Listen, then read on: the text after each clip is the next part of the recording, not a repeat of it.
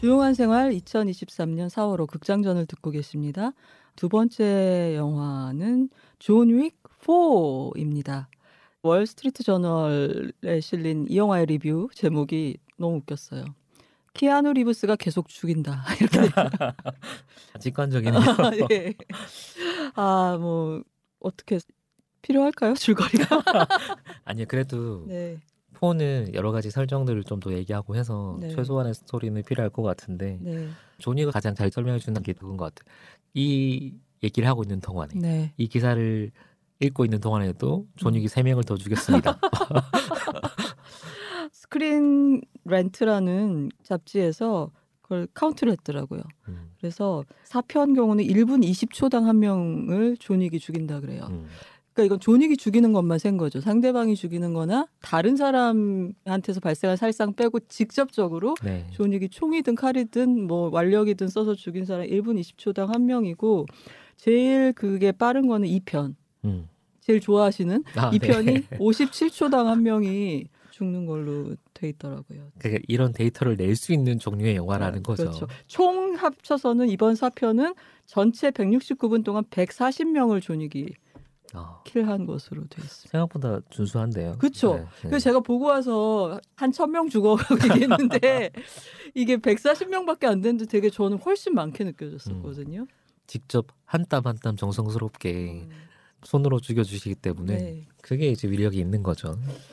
그러게요. 근데 이 존윅은 4편까지 나왔는데 4편을 최고로 꼽는 사람이 상당수가 있다. 네, 네. 이게 놀라운 일이고요. 네, 네. 물론 분노의 질주가 더 편수는 많지만 뒤로 갈수록 좋다거나 뭐 그런 네, 건 네. 아니잖아요.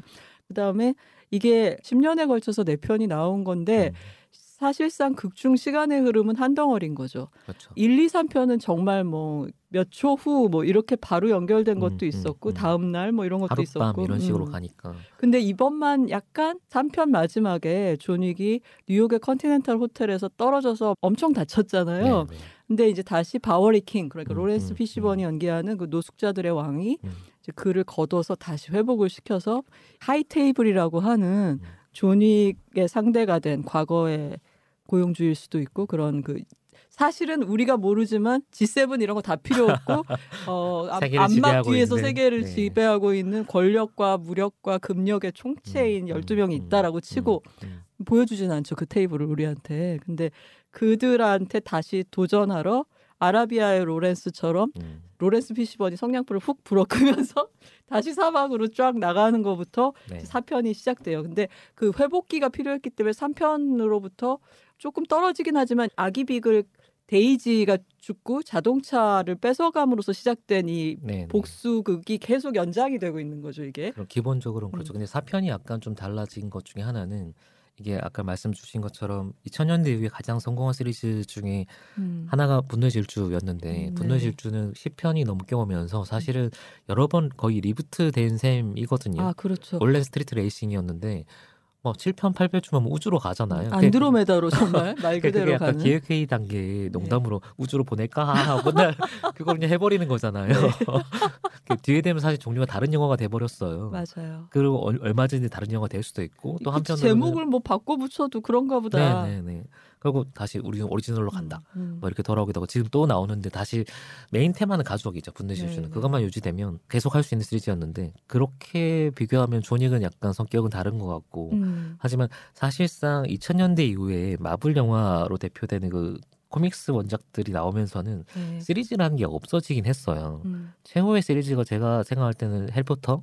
근데 해리포터는 단단한 책이 있으니까 네. 그렇게 갈 수 있는 거고 보통 시리즈가 한 편 성공하면 다음 다음 이렇게 생명 연장을 음. 계속 하는 거잖아요. 그렇죠. 뭐 잘 안 되면 접는 거고. 그렇죠. 그러니까 이거의 핵심은 뭐냐면 매 편에 총력을 다한다는 거예요. 음. 다음 편 생각하지 않고 다 음. 갈아 넣는다는 건데 어쨌든 시리즈물의 어떤 정석을 보여주는 작품인데 음.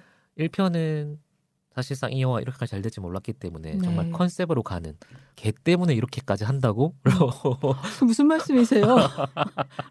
그게 존윅의 매력 중에 아니, 하나고 핵심 이런 액션 영화 중에 가장 그 동기가 이해가 되는 영화였어요. 그렇지 막 이러면서 제일 공감하시는 살해 동기 중에 음. 하나 그리고 제가 3편을 남보다 10배 좋아하는 이유가 개와 말의 액션이 너무 아, 좋기 네. 때문입니다. 그러니까 1편은 사실은 그 컨셉들 만 해서 음, 세팅이 돼 있는 그렇죠. 영화, 되게 확실한 음. concept movie다라는 음. 느낌을 주는 영화였는데 근데 그 처음에 나왔을 때 이게 거의 straight video 영화 같은 느낌 아니었어요? 그렇죠. 근데 이게 빵 터진 거죠. 완전 다크호스로. 어, 사실 그렇게까지 막 엄청난 기획물도 아니었고 음, 이게 매트릭스 이후에 키아누 리브스의 가장 대표작이 네. 될 줄은 아무도 몰랐겠죠. 제가 늘 말씀드리잖아요. 키아누의 노후 연금은 매트릭스가 될 줄 알았는데 레저렉션이 저렇게 죽을 쓰고 존 윅이 노후를 보장해 주고 있다. 지금부터는 스포일러가 있습니다. 물론 그러니까요. 이제 4편에서 일단 그 데이지로 시작된 여정이 일단락 되긴 하죠. 네네. 그 점도 좀 마음에 들었어요. 계속 막 하염없이 어떻게 하기보다 일단 음, 일단락은 음. 네, 지었잖아요. 네, 네, universe로 네. 팽창을 그렇죠. 할 수도 아, 있지만. 이거 다 스포일러 얘기해도 되는 건가요? 일단락 됐다는 아니 나 이거 중요한 죽었다고 정보인데. 죽었다고는 말 안 했잖아. 1편은 그냥 컨셉이었고 음. 사실 세계관을 만들기 시작한 게 2편. 그러니까 아 그렇지. 1편이 잘 되니까 이거 네. 어떻게든 프랜차이즈화 해야겠다라는 음. 목표를 가지고 세팅을 하기 시작한 게 이제 2편이었고 world building이 들어가는 건가요? 네. 아까 얘기했던 하이테이블도 나오고 이제 음. 처음으로 패밀리 같은 개념도 나오고 암살 세계가 어떻게 이루어졌는지 무엇보다 가장 허무맹랑한 현상금을 걸면 매우 아날로그적으로 흑판에다 쓰고 유선 전화로 막 해가지고 받고 그 여성분들은 무슨 옛날 필름 노아르에 나오는 음, 여자들처럼 막 음. 문신하고 펜슬 스커트 같은 거딱 네, 네, 입고 네. 있으면서 굳이 왜 저런 이렇게 싶은 고세계가 있고 요번에 보니까 라디오 방식으로 네. 그 도시의 킬러들한테 음, 방송을 해서 메시지를 전하는데 그 채널 이름이 WUXIA더라고요. 음, 영어로 무협이더라고요. 음, 음. 그러니까 그런 것도 그게 사실 다 농담 만화 같은 얘기인 안 거잖아요. 그냥 그 컨셉을 그냥 탄미적으로 밀어붙이는 음, 음. 그게 전체 안 통하는 코드인 것 같고 어쨌든 2편에 이제 하이테이블이라는 걸 만들고 나서 아, 그럼 이 편이 중요하네요, 진짜. 사실은 시리즈를 만든 건 2편이죠. 음, 네. 그리고 이제 3편이 전형적으로 아 음, 잘된 거를 계속 연장하면 어떻게 음. 조금 뭉개지기 시작하는구나를 음. 보여주는 작품이었다고 보고 전 좋았는데. 3편 3편 좋아하시는 분도 있는 것 같아요. 네. 근데 3편이 이제 전형적으로 규모, 물량을 늘리는 쪽으로 이제 음. 좀 이야기를 늘려놓은 셈이었던 거고 음. 4편이 완전히 또 저는 약간 오케이 하고 잠깐 멈추고 새로 시작한다고 느꼈던 것 중에 하나가 네. 3편의 메인 그 목표 중에 하나가 그 하이테이블 위에 있는 장로라고 음. 한- 전체를 다 지배하고 있는 누군가가 있다. 음. 장로의 인가를 받아야 된다라고 해서 장로를 찾아가는 얘기가 사실은 음. 3분의 2예요. 음. 근데 이번에는 그게 조금 과하죠, 그죠? 음, 이번에는 시작하자마자 음, 바로 가서 그걸 지난번엔 내가 과했어. 너는 사라져라. 딱 없애고 다시 하이 테이블. 지난번에 3분의 2 했던 거를 네. 딱 1초 컷으로 그냥 음. 넘어가잖아요. 음. 그러고 장로를 죽여버리고 사실은 장로가 그렇게까지 대단한 거 아니었어. 음. 상징적인 무언가야. 음. 이미 장로도 바뀌어 있는 거예요. 네. 다른 사람으로. 네. 그리고 그 장로를 죽이면서 이제 음. 존윅이 하이테이블 입장에서는 절대 용서할 수 없는 무조건 제거해야 되는 인물로 음. 네. 설정이 돼서 얘를 제거하는 main villain을 음. 등장을 시키는 거죠. 뱅상드 그라몽 후작. 네. 미국인들이 생각하는 너무너무 재수 없는 프랑스인의 전형을 네. 다 모아놨죠. 네.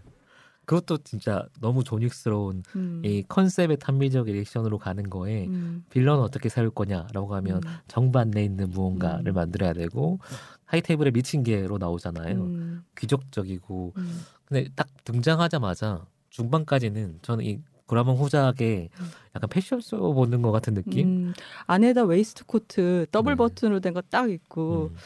킹스맨 같진 않지만 존윅도 상당히 수트가 중요하잖아요. 네, 네. 수트 아니면은 armor suit 둘 중에 하나인 거죠, 그죠? 이번에 약간 방탄 자켓도 나오고 그러지 않았어요? 네. 새로운 무기들을 음. 좀 등장시키기도 하는데 자기들이 생각해도 너무 말이 안 된 거지. 아, 너무 총을 안 맞는다, 존윅이.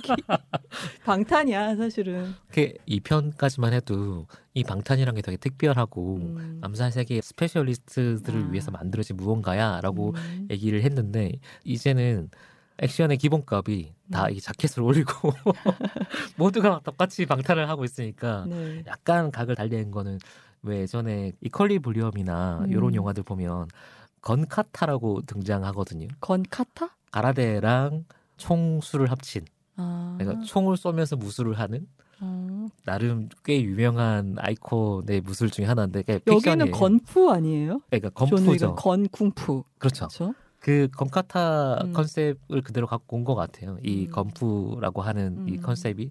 그래서 3편까지만 해도 근거리에서 총을 쏴서 이렇게 죽이는 음. 그게 조닉만의 어떤 특별한 시그니처나 아니면 그 정도 레벨이 된 사람들의 어떤 네. 격투술 같이 보이는데 이번에는 모두가 다 음. 똑같이 사이좋게 음. 총이나 칼이나 별로 다르지 않는데라고 네. 생각되는 건카타 액션들을 막 보여주고 있고 네.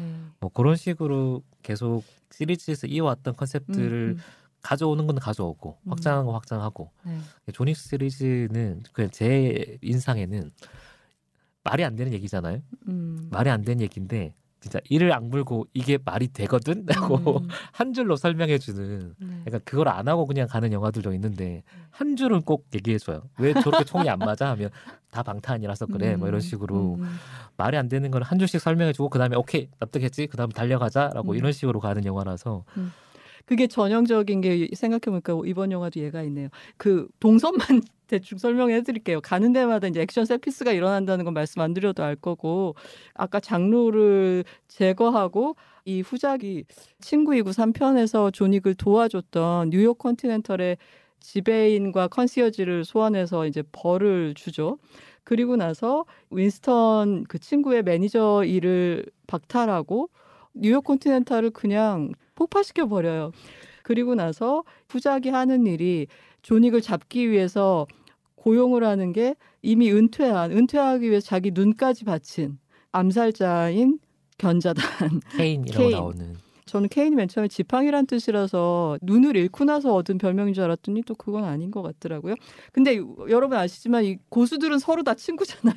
옛날에 다 친구였어. 정의롭고 고수인 사람들은. 근데 조닉을 죽이지 않으면은 케인의 가장 큰 아킬레스건인 아무것도 모르는 딸 어떻게 해버리겠다고 협박을 하게 됩니다. 이런 이제 저간의 덫이 놓인 거를 존 윅은 이제 오사카 콘티넨탈에 도착해서 자기 상황을 알게 되고 거기에 매니저는 사나다 히로유키 그리고 그의 딸로 설정된 리나 사와야마 아키라라는 딸이 둘이 운영을 하고 있는 곳이고 여기에서 케인이 전면 무대에 등장을 한과 동시에 이번 편에 new face가 하나 더 있죠. 미스터 노바디라고 해서 현상금 사냥꾼인데 어떻게 보면 약간 존 윅의 사생팬 같은.